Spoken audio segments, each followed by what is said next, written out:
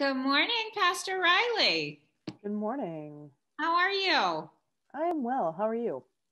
I am okay. I am having some technical difficulties this morning. Okay. So, um, everybody who's out there, say a prayer that uh, my computer and internet and everything else decides to um, behave itself. Riley, today is the day that God has made. Indeed, it is. So let us rejoice and be uh, and be glad. Um, so I'll take a deep breath. I need it. it's good to be together on this first Sunday of 2021. So let us now prepare ourselves for worship. Please join with me in our call to worship. We are gathered to worship our God. Send your spirit upon us. We come from many places with many burdens. Send your spirit upon us. We turn our hearts to you, O God. Send your spirit upon us and make us your beloved family.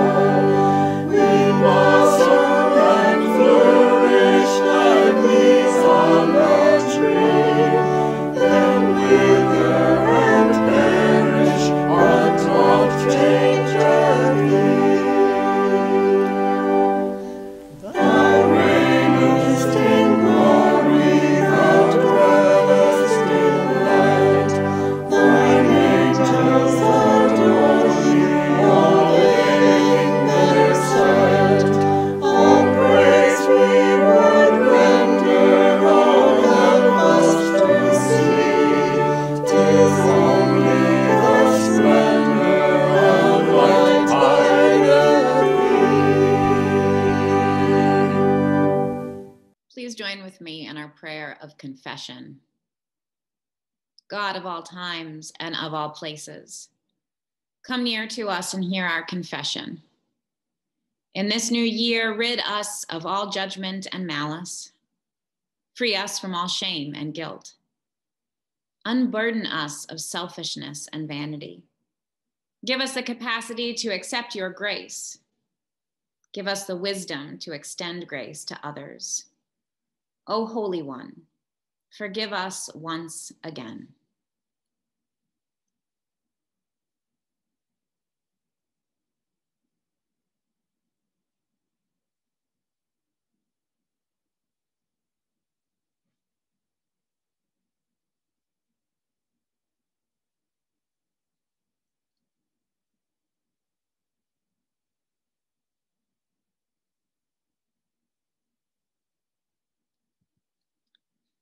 Hear now these words of assurance. Our God is a forgetful God who forgives our iniquities and remembers our sins no more. Lift up your heads, O beloved of God. God's grace is given to you. Amen. Friends, since we have been forgiven in Christ, let us forgive one another. The peace of God be with you. And also with you. Let us exchange the peace to those who are with us and to those in our chat box on Zoom. All right, friends, let's continue our service of worship with our um, choir anthem.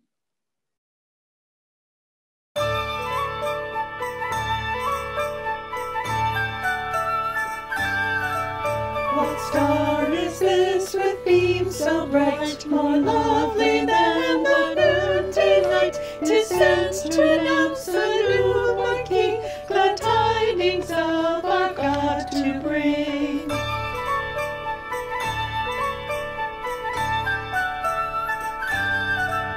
Tis now fulfilled what God decreed. From Jacob shall a star proceed, and lo, the eastern sages stand to read in heaven the Lord's command.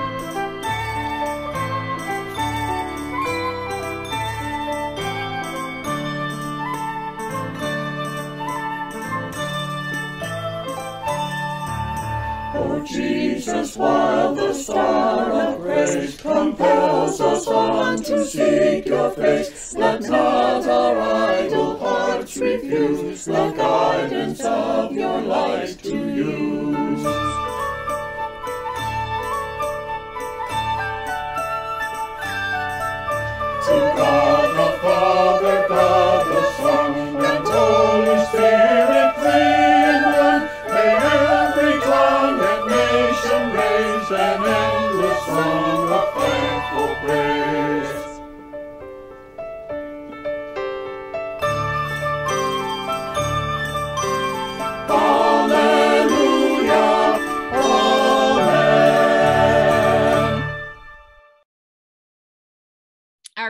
This morning is from Luke chapter 2, verses 41 to 52, the boy Jesus in the temple.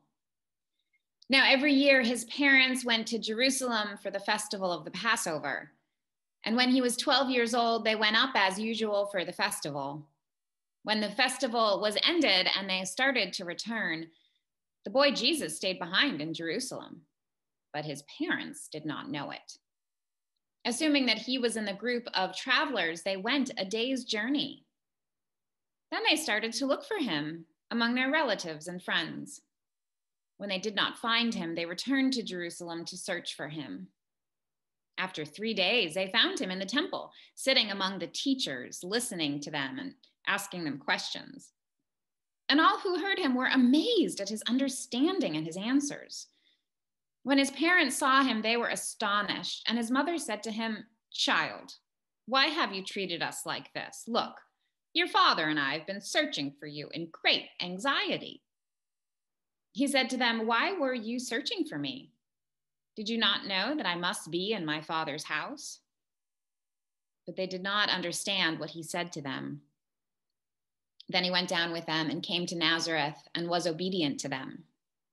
His mother treasured all these things in her heart. And Jesus increased in wisdom and in years, and in divine and human favor. The word of God for the people of God. Thanks be to God. Over the last few weeks, my family and I have watched a fair amount of Christmas movies. And this year, we introduced our children to the 1990s classic Home Alone. And if you haven't seen it in Home Alone, you learned the story of the McAllister family. They are getting ready to head to Paris to visit relatives for Christmas. Aunts and uncles and many cousins are visiting. And in confusion that ensues after sleeping through the morning's alarm and the threat of missing their plane, no one remembers to wake up eight year old Kevin, who, being displaced by so many extra family members, had been sleeping in the attic. Kevin finds himself home alone a few days before Christmas.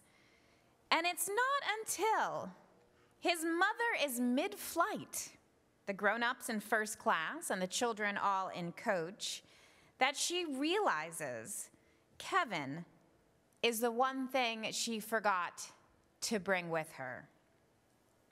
Now, eight year old Kevin proves to be brilliant at preventing two robbers from breaking into the house, leaving booby traps in perfect places, and creating obstacles, and eventually leading the police right to them. Introducing this to my children this year was particularly delightful because my oldest loves slapstick comedy, and this movie is full of it. But while we all enjoyed the movie, seeing it 30 years after it debuted with now two children of my own, I couldn't help but wonder what mother would leave her child asleep in his bed as she headed off to France. I don't care how many children are part of the extended family and traveling with you. I don't care how late you are to your flight. You would still notice if you didn't have one of your own children with you, wouldn't you? Well, apparently not Mary and Joseph, parents of Jesus, who make a similar mistake, according to the Gospel of Luke. They have been in Jerusalem for the festival of the Passover, and in all the hubbub of leaving and heading back home to Nazareth with all their friends and relatives traveling with them, Mary and Joseph didn't seem to notice that Jesus was not with them. Like little eight year old Kevin McAllister, Jesus has also been left behind. And while we modern parents might not understand how, in God's name, this could happen, I would imagine that a 12 year old boy in the ancient world, traveling with an extended community, would need to take some responsibility for himself. It would not just fall on his parents' shoulders that he keep up with the group. After all, we have to assume that Mary and Joseph had several younger children at this point and were also most likely helping relatives and families with their own burdens. It's not all their fault. But in the end, we feel bad for both child and parent. For the child left behind and the parents anxiously searching, and we would not want to be either. Our story this morning is unique. It is the only story recorded in the Bible in which we see Jesus as a child. Luke has finished the infancy narrative and gives us this one glimpse into Jesus, Son of God, at age 12. It is a hinge point between Jesus the infant and Jesus the man. In contrast, some of our other gospels don't even talk about Jesus as a baby, let alone as a child. For instance, the Gospel of Mark leaves out infancy and childhood completely and starts right after Jesus gets baptized as a man. Lots of people like to speculate about what Jesus was like as a child, and the Gospel of Thomas, which was never included in the Bible, has some interesting stories. There is so much that we do not know, but there is something Luke is trying to tell us this morning, something much more than Mary and Joseph's parenting style. It points to, this story points to a feature of Jesus' ministry that will be one of the most disturbing for many. That he dismantles traditional notions of family. In his article, Family Values in the Gospel Tradition, Jorg Frey argues that early Christianity opened up the possibility of a religious affiliation different from that suggested, suggested by ethnic, tribal, or familial tradition. A first challenge to traditional family obligations can be seen in the lifestyle of Jesus and his earliest disciples. Frey goes on to point out the often oppositional relationship between Jesus and his family in the earliest gospel, the Gospel of Mark. Frey writes Common family obligations are questioned, and those who follow Jesus and God's word are called his real family, as opposed to his family of blood. In Matthew and Luke, the distance is softened due to the idea that Jesus' family is already aware of his mission and identity. In the Gospel of John, his earthly mother is present under his cross, and also Joseph as his father is openly mentioned, but his true origins are in the realm of God. Family aspects are transferred to the community, which is the new family of God, shaped by the mutual love and support of the disciples. A new family. And this passage from Luke chapter 2 plays with names. Jesus becomes child. And Mary and Joseph, who after all have proper names, we know who they are, but Luke calls them simply his parents. And I think this is intentional. The specifics begin to fade, and this becomes a story between a child and mother and father, between mother and father and their child. And at the end of it, after all the searching and the anxiety and the worry, Jesus reminds them that his true father his real father is God. Didn't you know I would be in my father's house? As if this, this relationship, the one between him and his God, not that one, not the one between him and his family, but this one between him and God is the most important relationship. Didn't you know I would be in my father's house? My father's house. And the thing about the names, Jesus and Mary and Joseph just becoming child and parent, means that this goes for us too. Our Father, our God. When I was little, my best friend lived down the street and we went to Catholic school together.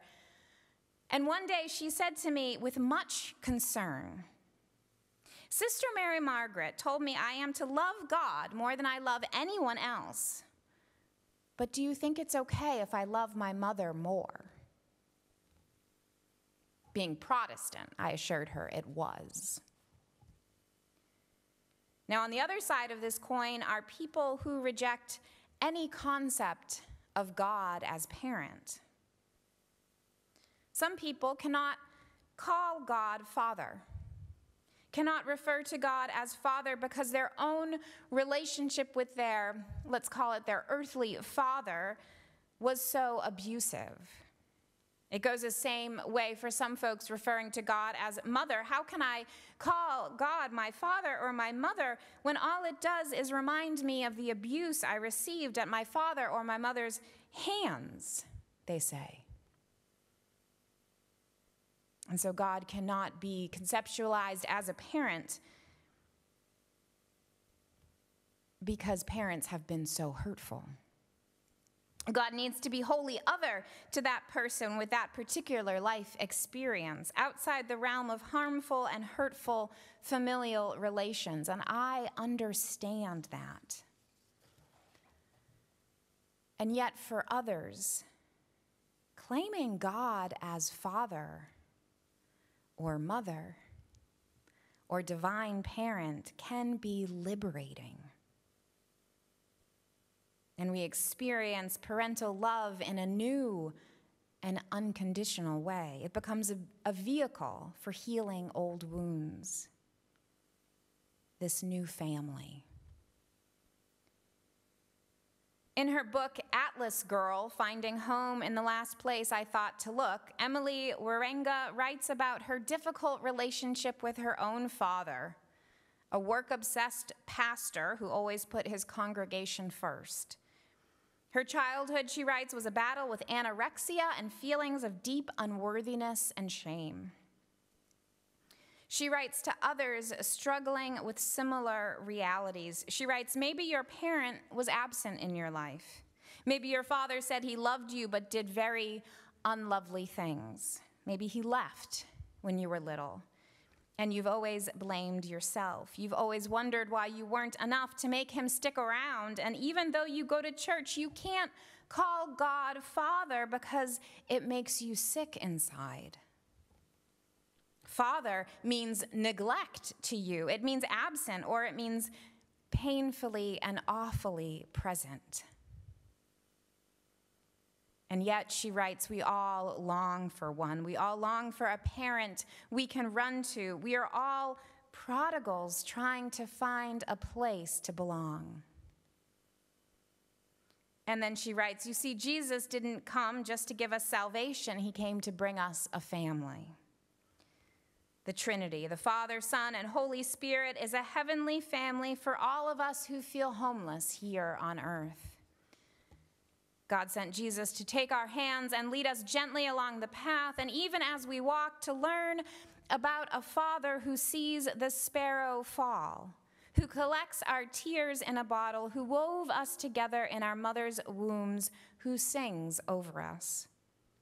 And when we finally reach the throne room, there he is, running toward us, arms outstretched, and he gathers us close. And we can feel the heartbeat of the universe pounding through his chest. And we know we've come home. The metaphor of God as a parent, not because our own parents are perfect, but because they are imperfect, and yet we all need and desire and yearn for that perfect love that unconditional love.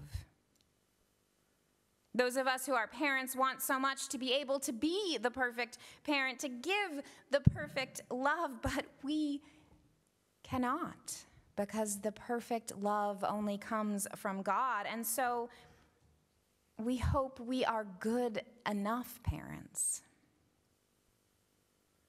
In his article, Learning from Our Children, Peter Woods writes about learning to be the good enough parent. He thinks that's part of what Mary and Joseph learn when they leave Jesus behind in Jerusalem. He says Mary and Joseph begin their school of good enough parenting by learning the following lessons Children are never really lost, and children find their true home despite us as Jesus does, as Jesus finds his true home in the temple, in his Father's house. Woods quotes the poet Khalil Gibran, who writes Your children are not your children. They are the sons and daughters of life's longing for itself. They came through you, but not from you. And though they are with you, yet they belong not to you. Who do we belong to? Jesus knows who he belongs to, the strongest affiliation of his life, not necessarily his tribe or his family, but his God. Do we know who we belong to? This might be one of the strongest messages of the gospel that we belong to a God who we can trust a God who claims us as one of her own, a love beyond all love, a God who will never leave us behind or let us alone. Humans all mess up. We all fail. All families have brokenness and deep pain in them. Nothing and no one is perfect. But thanks be to God that we are also we also belong to a larger family and to a larger holy realm of which we see flashes of in moments of love and generosity here on earth. Whether you call God Father or Mother, ground of being, source of life, holy mystery, Lord, Spirit, Creator, or, or love itself, we all belong. We all belong. Didn't you know I would be in my father's house? The child says to his parents, and they realize what he has already come to know that he is not theirs, but God's and that he has found his true home. May it be so for us. Amen.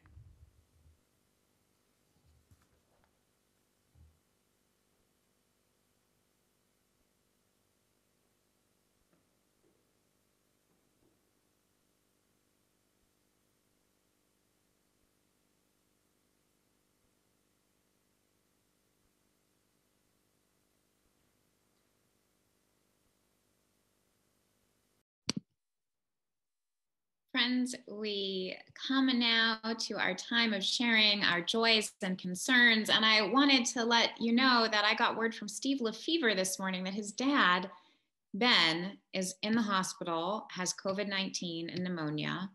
Um, so we want to send a copious amount of prayers in that direction.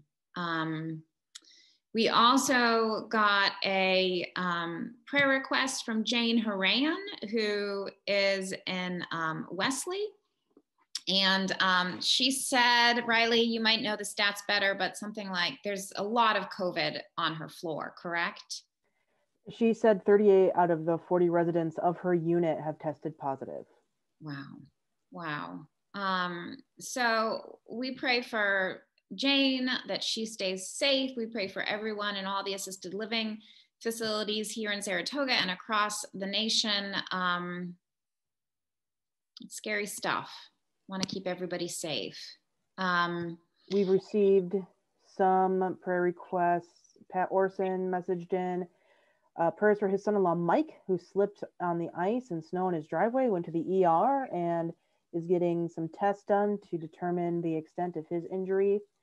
And uh, Christy Keegan is requesting prayers for her friend Gary, who's been hospitalized for a third time with a yet to be diagnosed debilitating condition. That is terrifying. So we will, of course, remember yeah. Gary and his friends and family. Absolutely. Pam asked for prayers for her friend Phil, 27 days in the hospital, COVID 19, um, home now. Oh, that's wonderful. Oh, Elizabeth and Harry have some good news. Their youngest, AJ, is engaged. Um, he and his girlfriend Tabitha got engaged on New Year's Day. That's wonderful. Excellent. Prayers, prayers for Georgia voters for Congress, hopes for a peaceful electoral college count. This is about the election in Georgia on Tuesday, right? Oh, excellent news, Kristen, that your friend Rachel um, seems to have turned a corner. That is really excellent news. Um, we will continue to pray for her recovery. And Christine Duronsky, I see your prayer request for Barbara Florshak, who continues treatment for her cancer of the lung. Oh, I'm sorry to hear that, Sue. Um, Sue asked for prayers for her children whose father died last Sunday. That's from Sue Ransom.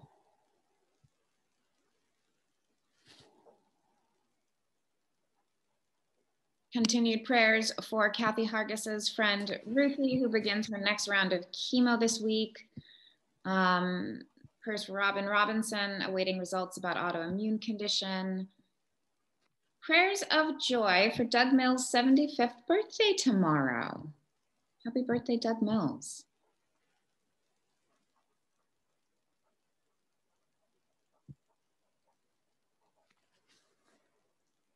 Any other prayers, friends, joys, or concerns?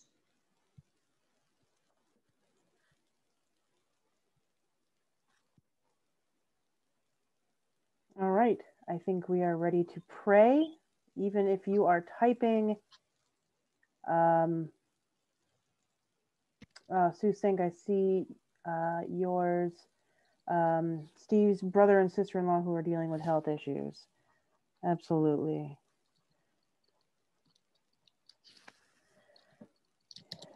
So we come we come together, our first prayer of the new year, and there is so much so much to pray for as as usual.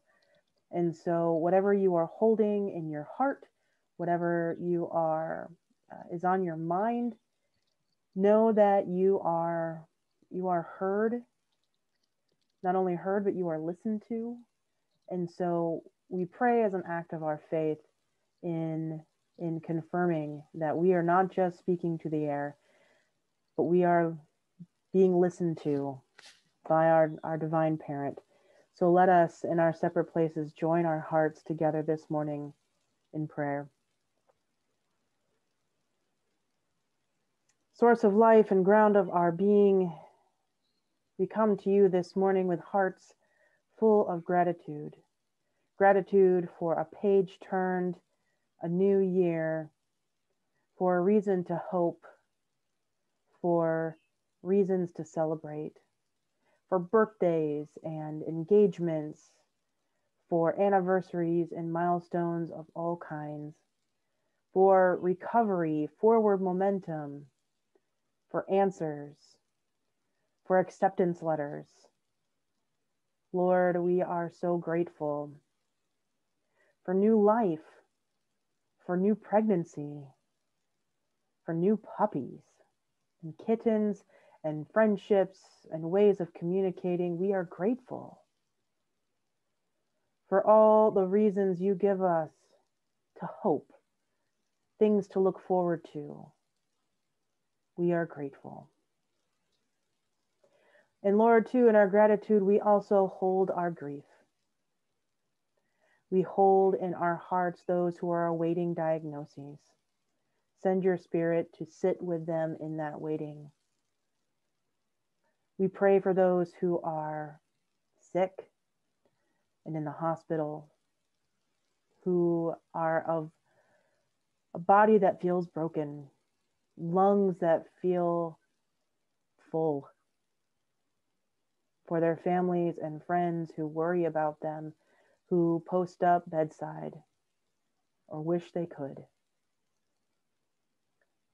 Lord, for, for those who are in the hospital or in a sick bed of any kind, we pray your presence and comfort and healing upon them. Lord, for closed communities, for care care facilities, for retirement communities. We pray that you keep them safe, you keep their staff safe, that uh, the co- that COVID would would cease. Lord, for those who are journeying with cancer, we pray for your accompaniment in that journey. for those who are grieving, sudden loss, old loss. Lord, we pray for your comfort in that time of grief. In all the things that we worry for, and all the things that we hope for, and all the things that we pray and hold each other in prayer for. Lord, we turn them over to you. We are a community that rejoices and weeps and works and supports and holds. Thank you for being our divine parent, for drawing us into this new family, your family. May we love and treat and hear each other as such. Lord, you have called us to see one another and to take care of each other, friends and neighbors, until there are no strangers among us anymore. May it be so. And let us pray together this morning in the prayer that Jesus taught us, saying, Our Father, who art in heaven, hallowed be thy name. Thy kingdom come, thy will be done on earth as it is in heaven. Give us this day our daily bread, and forgive us our debts as we forgive our debtors. Lead us not into temptation, but deliver us from evil. For thine is the kingdom, and the power, and the glory, forever and ever. Amen.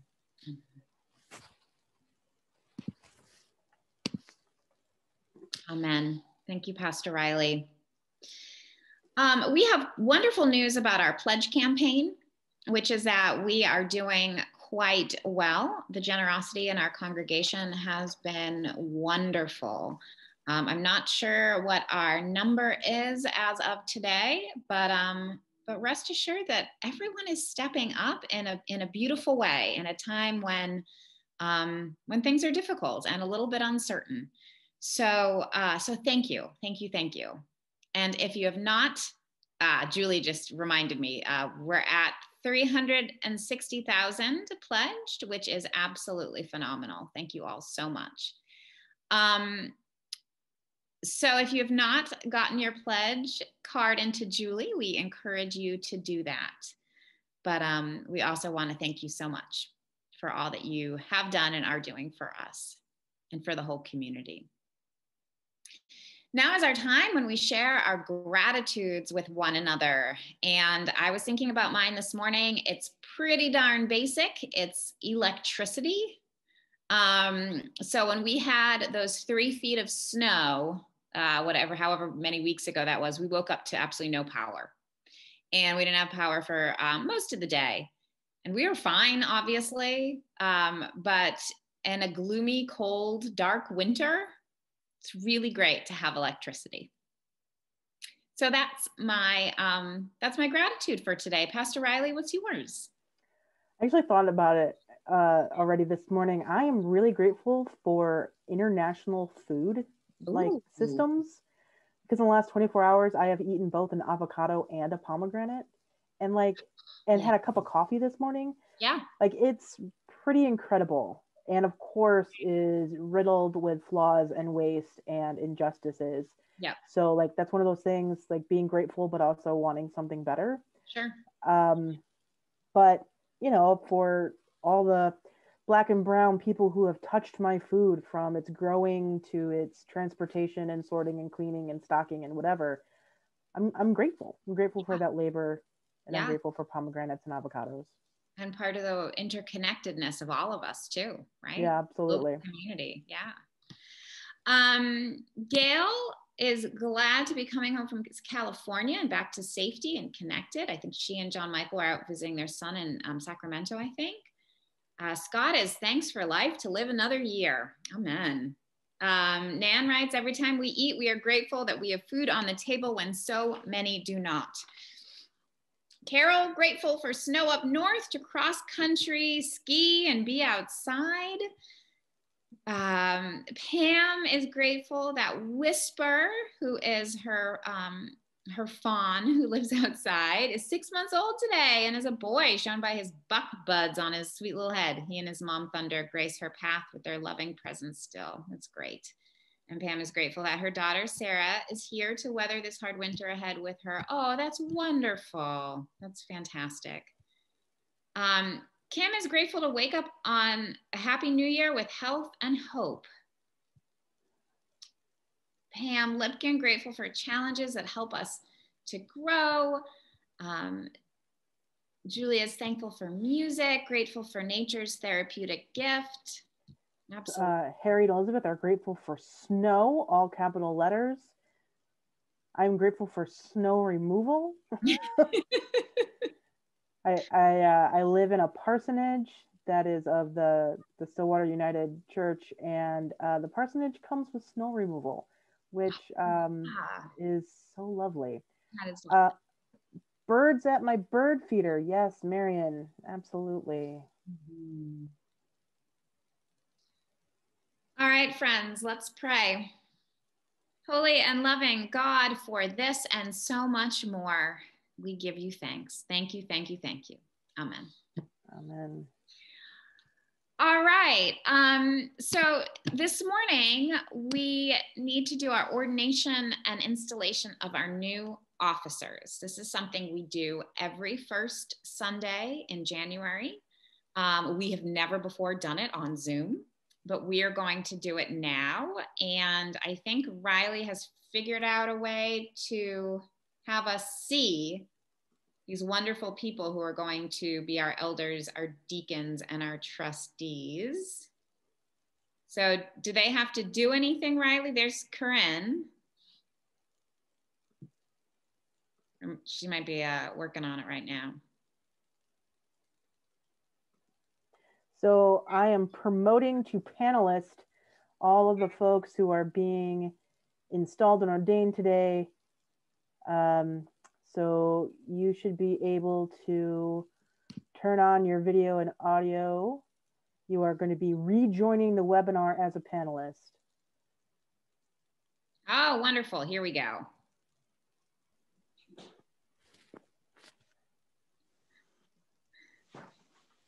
So hold tight as we as we go through this brave new world here. We can all imagine that if we were in the sanctuary, everyone's standing up, walking forward to come and stand in front of everyone.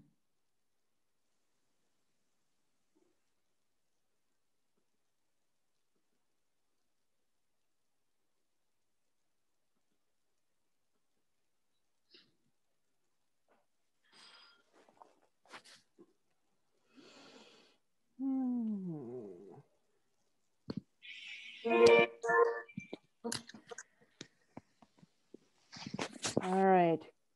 Craig Forth, are you here?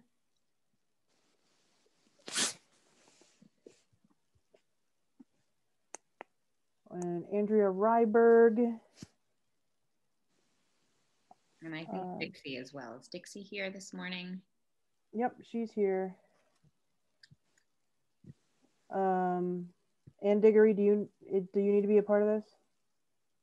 No, because she's already a trustee. You're already a trustee.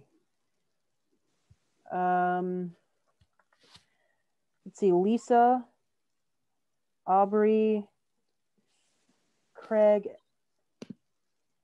Andrea and Dixie. Well, Dixie's here. She just hasn't turned on her video or her audio. Oh, okay. Dan Hughes is here. Oh, okay. Um, there's Dixie. Very good. Well, I am going to um, move forward. I have um, one screen I need to share with folks, so I will do that while more people hopefully are going to um, turn on their. Uh, okay. Friends, the vows ordaining elders and deacons are taken in a spirit of celebration. Language and interpretation are both unique gifts of God. God's Spirit has worked through us and in us to bring each as individuals to this place with a common purpose. We seek to honor and to advance the traditions and practices of both the Presbyterian Church and the United Church of Christ. We recognize that the function of acknowledging common beliefs is performed by the statements of faith for the Congregationalists in the United Church of Christ and the confessions for the Presbyterians. We make no distinctions among members who belong equally to our federated congregation. According to their individual qualifications and interpretations, we invite members of both the Presbyterian Church and the New England Congregational Church to serve our congregation as elders, deacons, and trustees. Riley, would you mind reading the part of the people for us? You There got are, it. there are different kinds of spiritual gifts, but the same Spirit gives them. There are different ways of serving, but the same God is served. There are different abilities to perform service, but the same God gives ability to each of us for our particular service. The Spirit's presence is shown in some way to each person for the good of all. Christ is like a single body, which has many parts. It is still one body, even though it is made up of different parts. If one part of the body suffers, all the other parts suffer with it. If one part is praised, all the other parts share its happiness. All of us are Christ's body, and each one is part of it.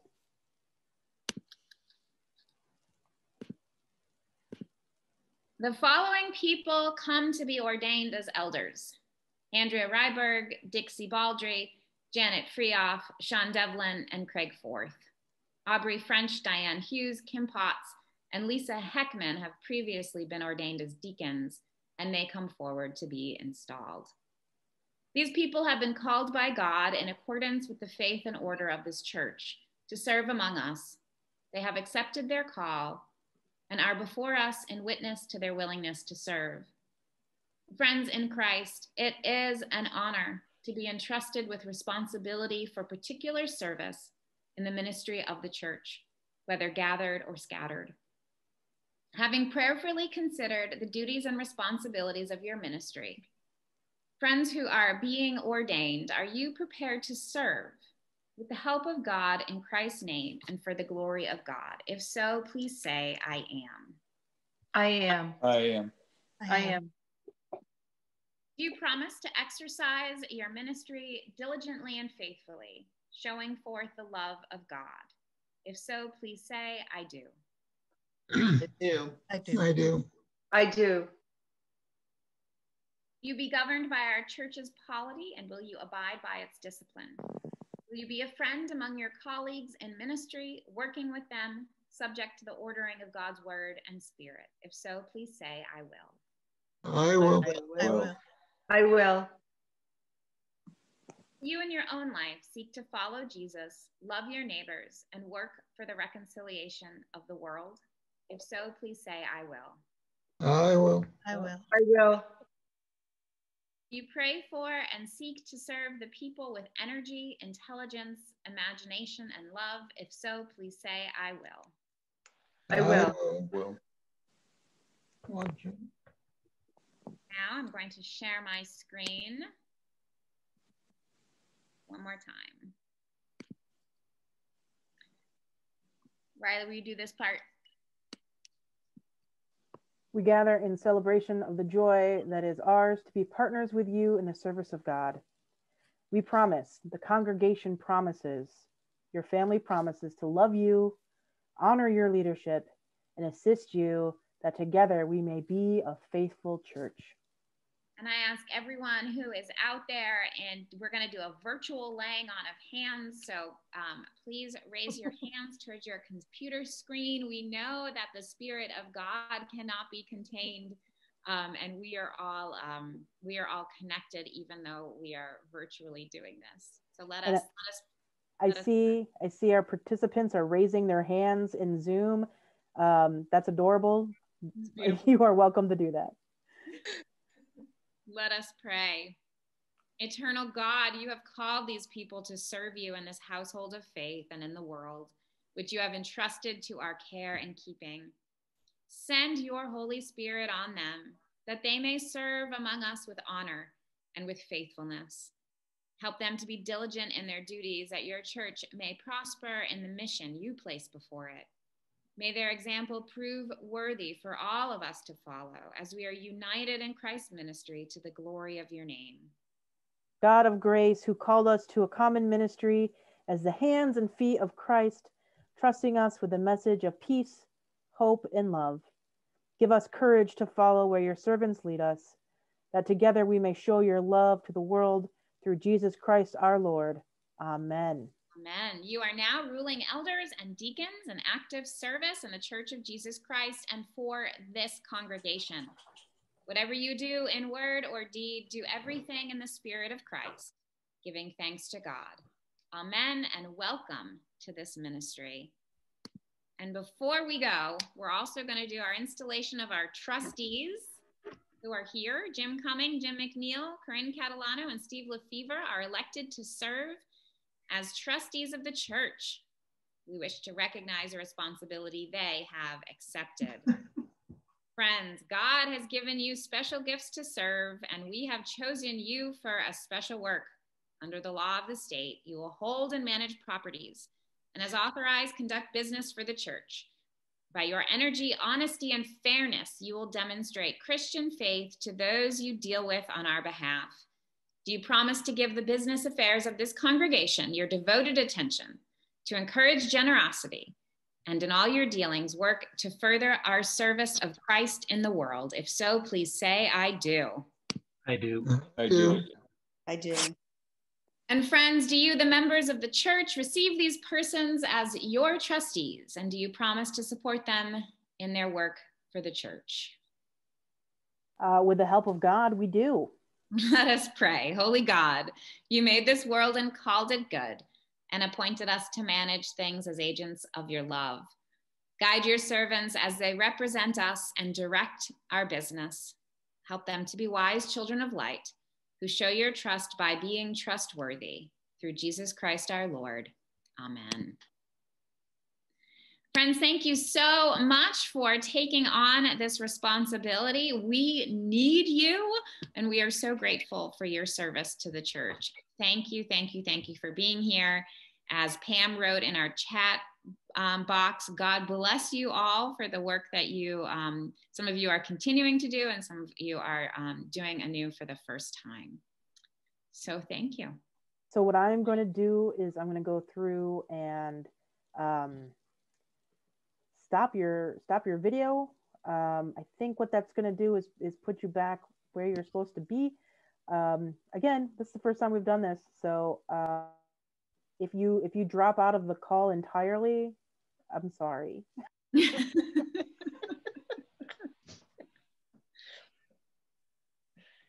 All right, and we are going to join in singing our closing hymn.